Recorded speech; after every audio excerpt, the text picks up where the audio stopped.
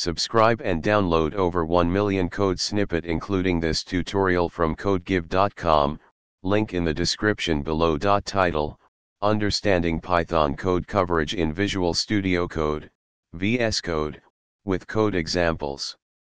Code coverage is a crucial metric in software development that measures the percentage of code lines executed during testing.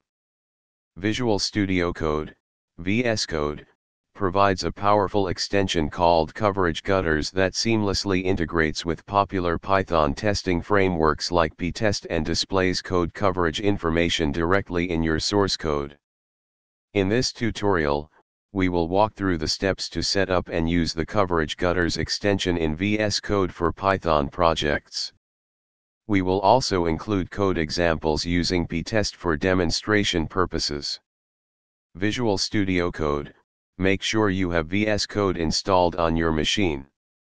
Python, install Python on your system, and ensure that it's added to your system's path. VS Code extensions. Python testing framework. Create a Python project. Install pytest-cov. Configure VS Code for testing. Run tests with coverage. View code coverage report. Open a Python file. Enable coverage gutters. View code coverage in the editor. Hover for details. You have successfully set up and used code coverage in Visual Studio Code for Python projects. Monitoring code coverage helps identify areas of your code base that may need additional testing, ensuring a more robust and reliable software product. Experiment with different test scenarios and explore the comprehensive coverage reports to enhance the quality of your Python applications.